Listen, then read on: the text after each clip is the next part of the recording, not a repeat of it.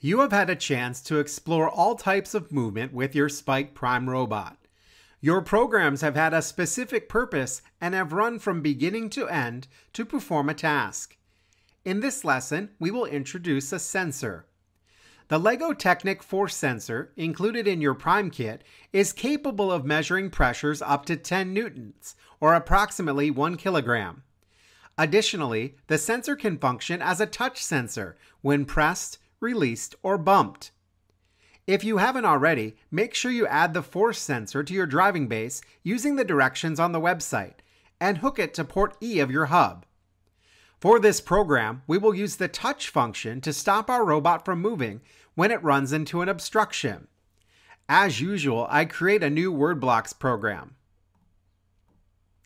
I drag a Start Moving block to my programming stack and make sure Forward is selected.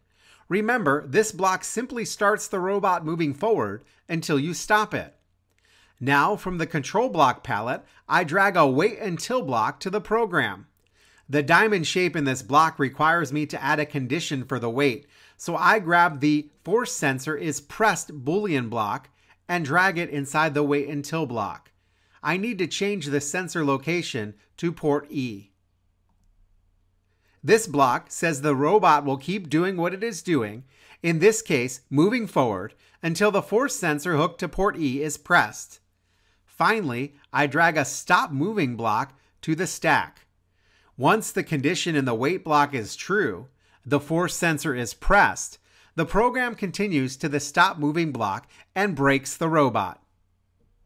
I run the program by clicking the yellow download and run button to see if my program works. You'll notice that the robot moves forward towards the object until the force sensor is bumped.